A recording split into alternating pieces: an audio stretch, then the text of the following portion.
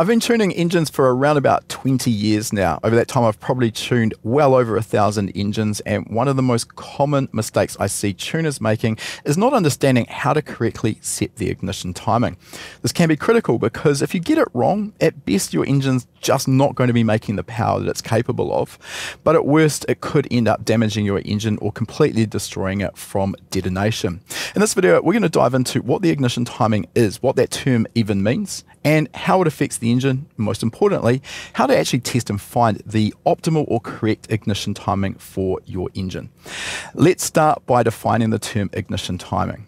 So this is simply the point in the engine cycle where the spark event occurs.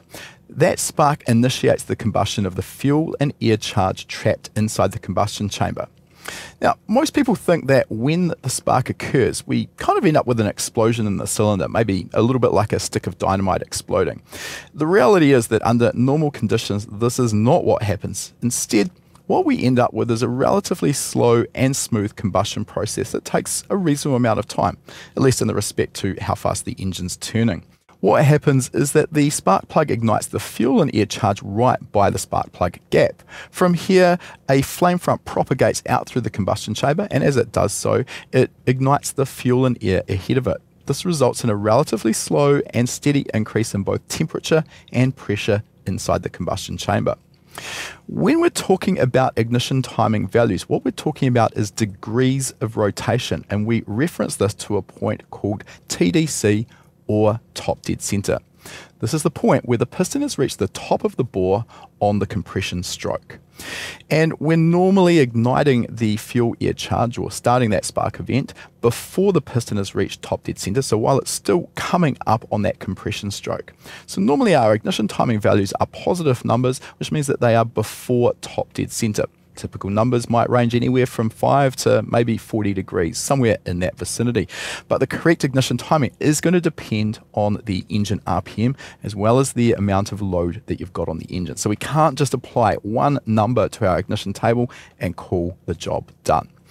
So we understand a little bit more about what's going on. Let's have a look at what actually happens inside the cylinder when the spark event occurs.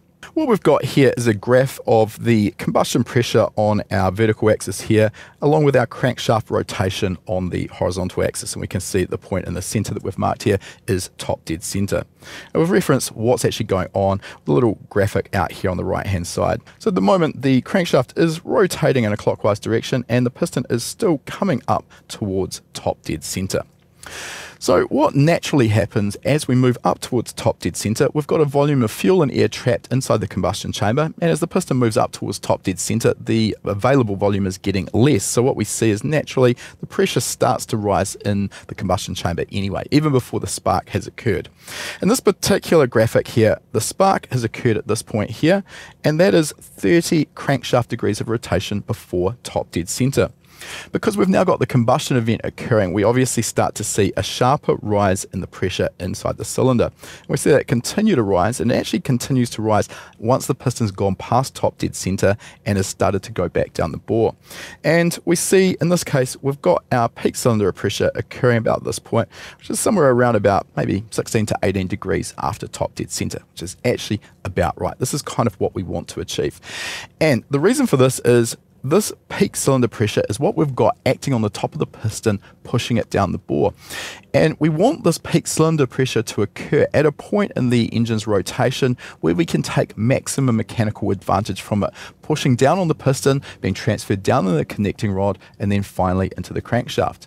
So if you think about it, if we ended up with peak cylinder pressure occurring not at 16 to 18 degrees after top dead center, but at top dead center instead, now the piston, the conrod, and the crankshaft are all in a vertical line. So if we push down on the piston, it can't actually create torque or rotation of the crankshaft. So this slide is what it looks like when we get it right. We're trying to choose the ignition timing so that the peak cylinder pressure occurs somewhere around about 16 to 18 degrees after top dead center. Let's have a look at our next slide, and this is what it looks like when our ignition event has happened too late. We call this retarded ignition timing. In this case, our spark event has occurred at only 16 degrees before top dead center. Now, under these conditions, the combustion event doesn't really have much of a chance to get going before the piston's gone past top dead center and started moving down the bore again. And this results in a rapidly increasing volume as the piston moves away from the cylinder head. And essentially, as we can see here, we don't end up with much cylinder pressure. In our little graphic here, we've got probably around about half of the cylinder pressure occurring. That means that we've only got half of the pressure acting on the top of the piston. The result, of course, is going to be less engine torque. Let's have a look at our third and final graphic here. And this time we've started the spark event at 35 degrees before top dead center. And this is kind of what I was alluding to before. Now we get our pressure rising really sharply while the piston is still moving up towards top dead center. And what this does is kind of fights against the piston. The piston's still trying to come up towards top dead center, but now it's got all of this pressure acting on the top of it. So it's actually reducing the amount of torque the engine can make. As well as this, we've got this situation where our peak torque has occurred very close to top dead center. And remember, when our piston is at top dead center or very close to it, we don't have a lot of mechanical advantage when we've got pressure acting on the top of the piston. So of course, in this instance, we end up with less power and torque being produced.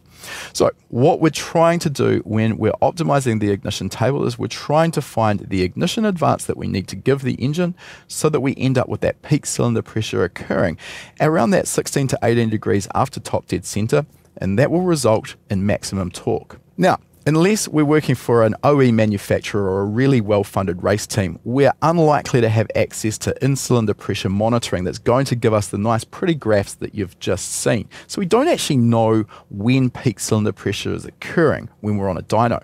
So, how do we go about optimizing the ignition timing? Well, we can use the torque feedback from our dyno in order to help us with our ignition tuning. And we're going to have a look at a demonstration of exactly that right now using our Haltech Elite on our Evo 9 and our mainline hub dyno. Let's start by looking at our dyno screen and the test I've got set up here is a torque optimization or MBT test. We'll learn what that term means in a second. On the vertical axis of our graph here, we've got the torque that the dyno is measuring. On the horizontal axis here, we've got our ignition timing, and that's also being displayed up here in the top right corner. When we've got our engine running, the current torque will be displayed here as well. This information, or the ignition timing value at least, is coming from the Haltech ECU through to our mainline dyno via a CAN bus connection.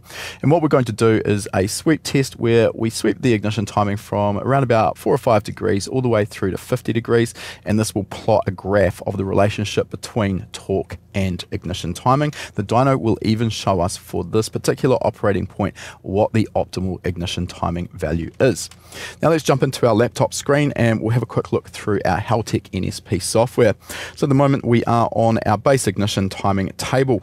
This is a three-dimensional table. We've got RPM on our horizontal axis here and on our vertical axis we've got our engine load in kPa. As I mentioned, we can't use one single value for our ignition timing and call it done. The correct ignition timing will constantly change depending on our RPM and our engine load, which is why we need this three-dimensional table. So what we're going to do for this test is I'm going to choose this particular cell right here, 3000 RPM minus 10 kPa, relatively low in both load and RPM, so there's no stress on the engine and we're not going to be risking doing any damage. And what I'm going to do for the purposes of this test is I'm going to highlight all of the cells around it as well.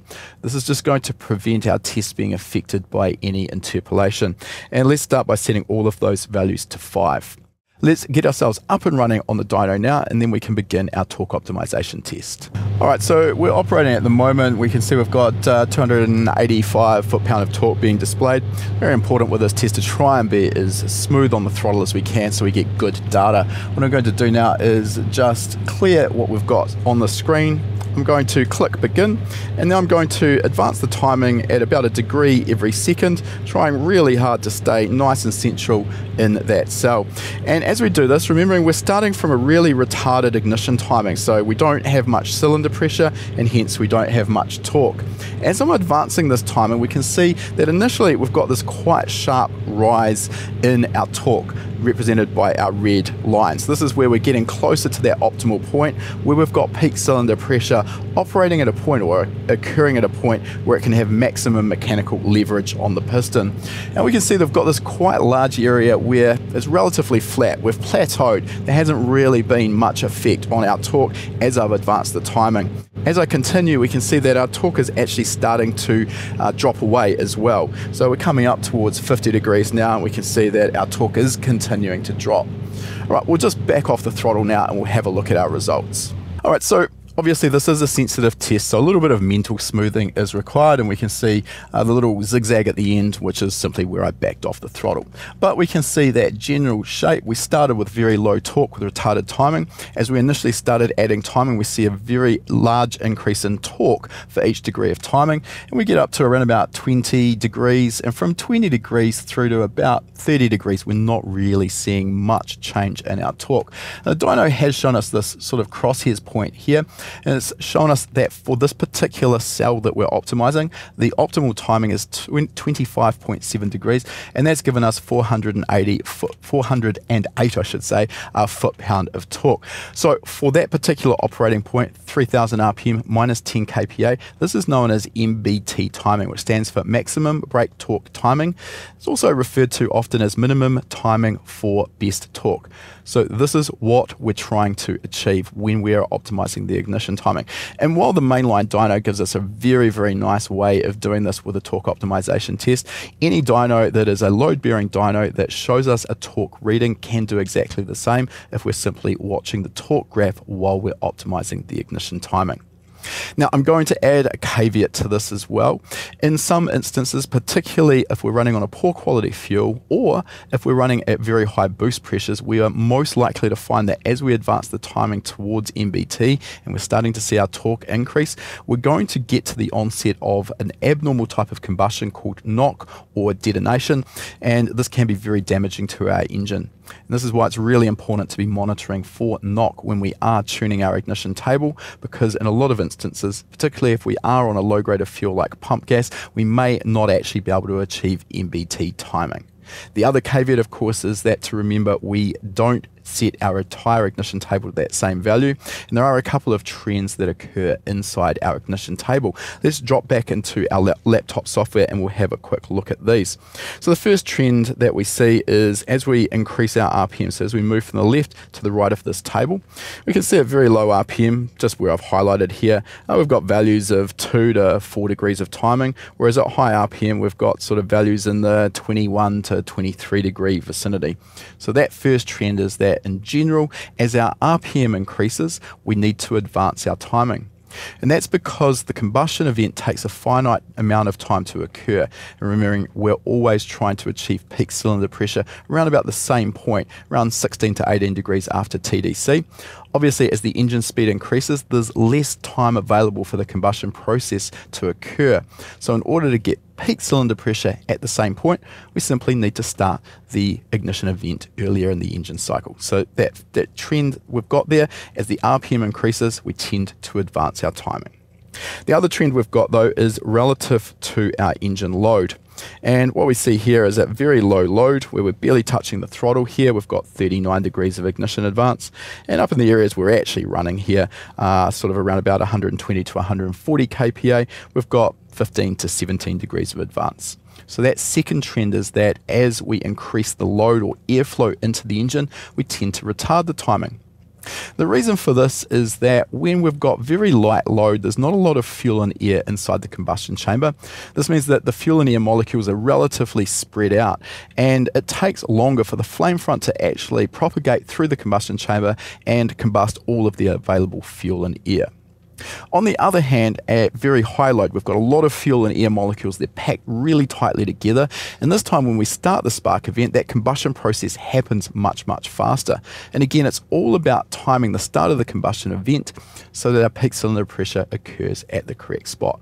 Obviously, if our combustion speed is faster, we want to delay the start of the combustion event so that we still get our peak cylinder pressure occurring in the right spot.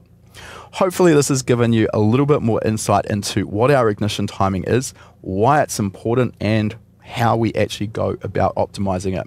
If you want to learn more, click the link in the description. If you like that video, make sure you give it a thumbs up. And if you're not already a subscriber, make sure you're subscribed. We release a new video every week.